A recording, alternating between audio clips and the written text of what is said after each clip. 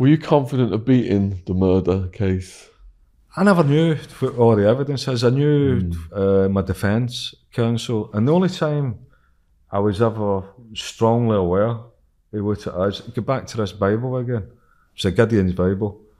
Uh, people like to look at what your star sign is for that day and all the rest of it. this Bible is Gideon Bible.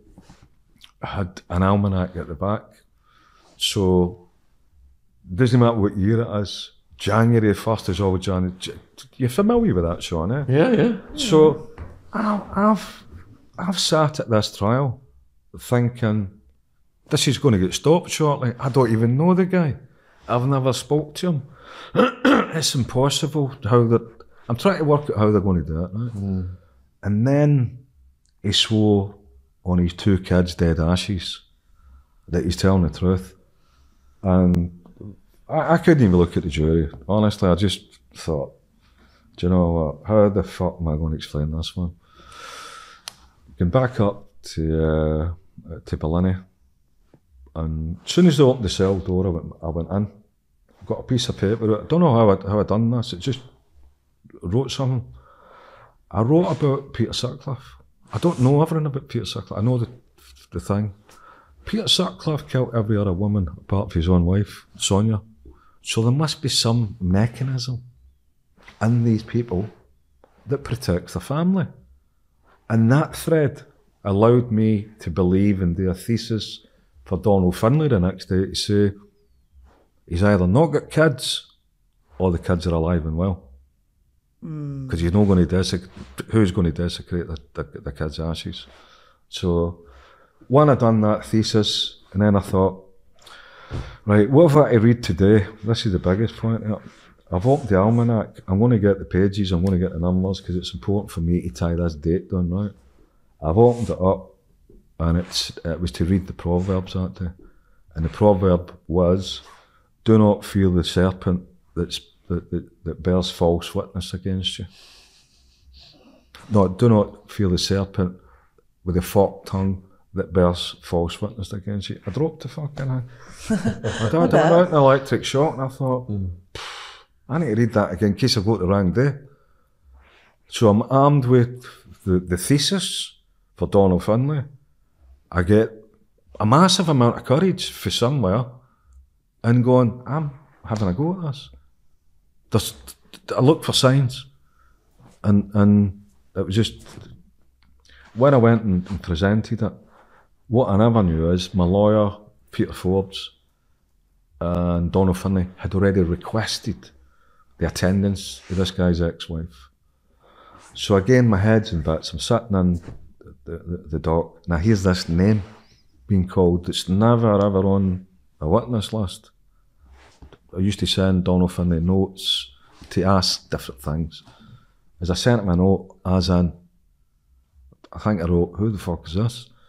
And he turned around and went, it was Dennis Wilkinson's ex-wife. And I never knew at the time. So when she went into the witness box, I seen that the prosecution went to stand up. The judge had made a motion, sat there. He took his wig off and had a chat. I'm thinking, this is surreal.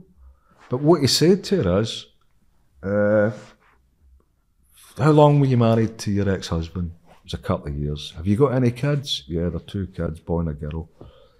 Uh, long you been separated? I think it was like 18 months or something. Have you got any, has your husband got any kids with anybody else? And she's went, no. Right. So when would your ex-husband would have known the kids were alive and well? And she said, last week we sent him letters and photographs. Oh, wow. And I've looked at the jury and went, it's a fucking joke. That. They should have stopped the trial. Yes. They should have stopped the trial. Just it's a farce. But further on, I, I couldn't believe what the trial judge said to the jury. He said, sometimes, ladies and gentlemen of the jury, even the worst of liars may tell the truth sometimes. They had so much money invested in it, didn't they, as well? A farce. People talk it's the biggest long. It's a farce. You you take away all that evidence. What have they got? They've nothing. Absolutely. It should never even went to trial. How do you feel when the verdict came down? Uh, do you know what? There's a story about that. There's a story about it. I get loads of stuff, loads of confidence for reading material that I was reading. Uh, when I seen the jury coming in, there was this girl who was crying, and I thought, they fell for this. So I'm getting ready for the fact that I'm not going to shout and bawl. I'm not. It's got to accept this. It's just another one. My head's elsewhere until I hear, not guilty, not guilty, not guilty, not guilty. And do you know what I found that day? I failed a test. I never kept my faith to the end of it. Hmm. And see the minute I recognised that, pff, I'm sorry, it came back. and then when I'd seen the lawyers and they said, "You- you- there's a crowd out there, Paul, you need to go and face it. Say what you've got to say. Ask for a public inquiry into the activities of Woodman. Nobody's going to get it or, or any at all that because they don't like to air their dirty laundry in public, but I will and continue to do it. So there's a one that they've done the scandals that shocked Scotland. It was introducing somebody like that as a witness. I hope they all got the sack. When you got found innocent, Paul, how did that affect you physically? The relief from facing a life sentence. Physically, it was it was strange because I had the belief uh, weeks and weeks before it uh, about the strength I got through my solitude, my reading, uh, the, the kind of Machiavellian stuff that they were trying to do. I've seen it all before, but this was really the coming close. So I had to be confident, confident in myself, and one of the surreal things that happened was the police officers that take you to court, it's usually the same ones. So you've got the outriders, the motorcyclists, you've got the van, and you've got another van, and the helicopter, and all the rest. So the people in the van, the police officers in the van, one of them happened to say to me, uh, Paul, do you think this trial will last until the end of June? And I thought, I can hope no. I says, I'm going to the Bahamas on the 12th. and they look and they laugh and they go, I went, and at half past three. And they laughed. I had a joke. That was maybe three weeks before all this, right? Wow. Right. So the jury retired on the 11th, all day, the, because of the nonsense they've heard. To, to, to, somebody's, somebody's sworn their kids' ashes. Don't do that with a Glasgow audience. Don't do that with, when I say a Glasgow audience, don't do it with people who are, are well tuned into fucking violin stories. That's a big no no. Uh, so that in itself, Had an idea that's it's going to go bad for the prosecution. But uh, on the 11th of uh, June, in the cells all day, walking up and down, waiting for a verdict, waiting for a verdict. Nothing, so I gets took back. Uh, none in particular. But what I did, what I did there, I, I knew on the 12th, I don't know why I knew, I, I knew I was going home. People said, ah, you must have had the jury sorted. It was just my belief in my system. And what I heard at the start, I couldn't look at the jury at the start. So many charges that, that I'm supposed to have confessed. No, they know. So I left a note on the desk in my prison cell with a couple of packets of biscuits and chocolate. And I said, hmm, in the event that I'll be off to Bahamas, have a bit of tea and biscuits. I think I left it. And it came back to haunt me a wee bit because, what, I, no, I did seriously. So I went back down and uh, uh, arrived there the, the, uh, on, on the 12th, spent another half a day, got to lunch, came back up to court, uh, and and I'm thinking, I'm just, I'm gone. I just hear the verdicts, and and what what made me feel as though I've not got the strength to accept this now, but I ain't going to shout and bawl. If it happens, I need accept it. I know people have been in the same position, like Tommy Campbell, Joe mm. Steele, and what are you going to do? Shout and make a, make a mug yourself. So I've seen two of the people coming in crying, and body language, my confidence went, completely went. I'm just thinking, waiting for this, fuck it, get me down the stairs. And then I heard the verdicts. And as I'm hearing the verdicts, I'm thinking, you've just failed a test. you've not kept that to the end. But when I'm asking myself again, do you really apologise for not keeping your, this faith? If you're I've got an honest that strength all came back. Not only the strength came back, a bit of humour came back. Because when I was when they said, right, you're free to go, as I walked down the stairs, I look at the clock, it's quarter to four. Hmm. right, there's an escort there. There's an escort there waiting to take me back. And as soon as I seen him, I went, I've got an apology to make to you, and they're going, what, what for? I says, I was 15 minutes out. they thought I had the jury novel. That was just a throwaway thing, that's all. Just something like that. So when uh, I got took into the main chambers with Donald Finlay, he opened the curtain and went, have a look at that. And I, I'm wondering why there are all, all these people there. Because I'm in solitary confinement, I don't know. Most of them are all family, friends. It, it was like a spectacle to do what they've done. I don't know I'm going to get out. And uh, when you see me standing on the stairs talking to, to the media, before that, there's a guy called Stevie Wilkie who was the senior crime author, uh, crime writer for, I'm sure it was the Sun newspaper or the, or the News of the World. And because I'm free, and, and I s he said, Paul, you give us an interview. I said, Steve, you got a car out there? He went, yeah. I said, look at that. because at that time, and I'll admit it again, I was asked to keep a, a, a diary with my solicitor. And what I had in the diary was just honest stuff that I had to write. But what I wrote in the diary was about personal stuff that the girl who used to come up and give me clothes every day, I had, different clothes every day for his trial.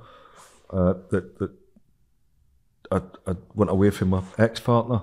I was now living with this girl.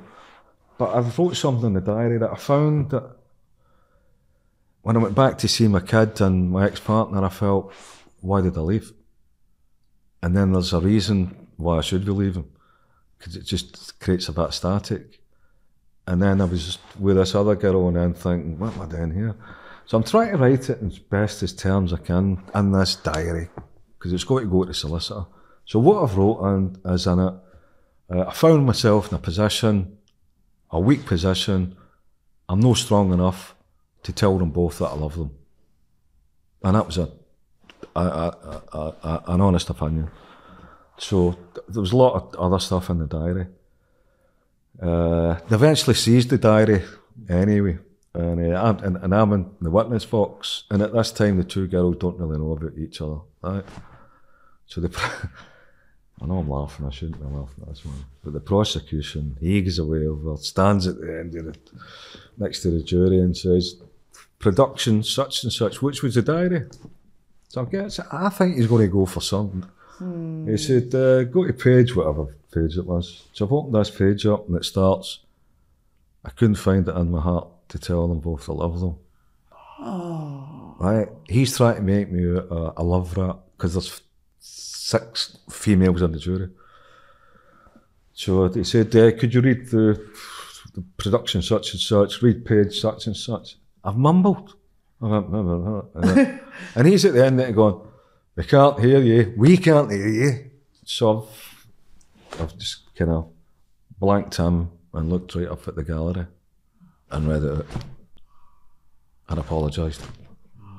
So when I'm getting out, the relevance is with Stevie Wilkie, I couldn't go to one without embarrassing another. I just I had to sort myself out. And what was the repercussions of you having to repeat the diary? No, no, sentence? no. I think both both of them had an idea, but it's it's it's. I went back. I'm still friends with them, really. Still friends. I've not spoke for many many years, but but for me, everything that was in the diary, he picked up on it, and I thought, you fucker, whoa, that was a that was a hard one. But uh, the the strange thing about it, the the next day, the two of them are sitting next to each other. And where was he? I, I can imagine what's happened. Was he in London? Was he?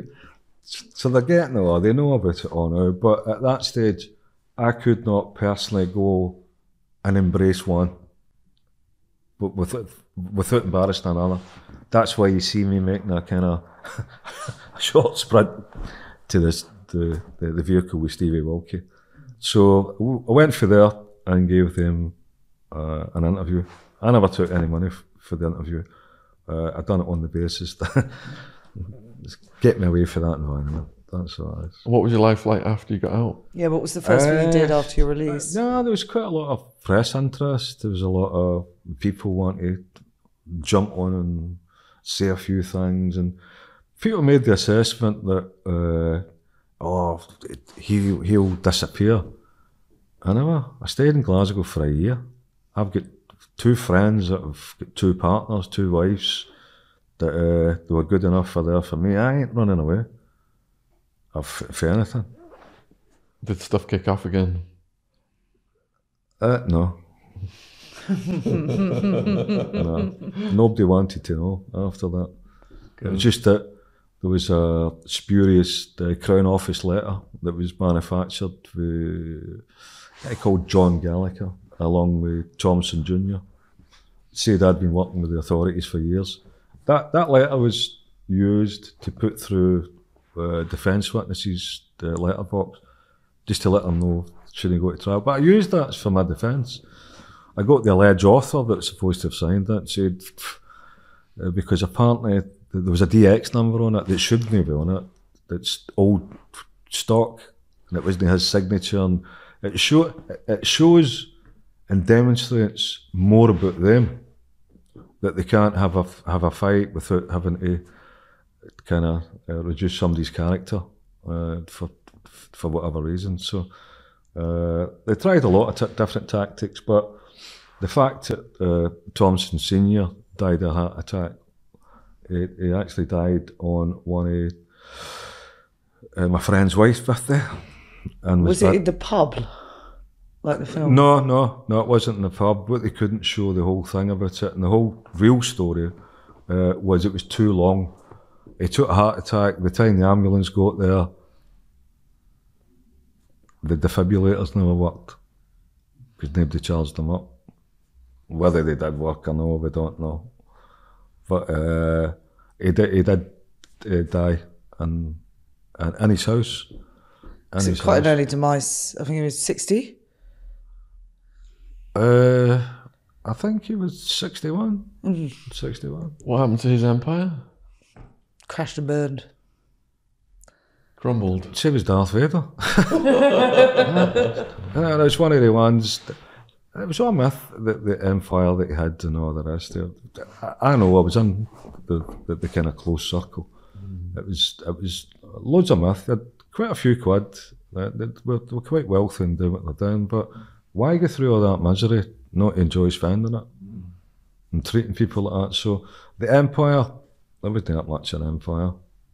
It was media led stuff and all the rest. No, for me, maybe it did. I don't know, but uh, not a lot of people seen any uh, invoices coming back.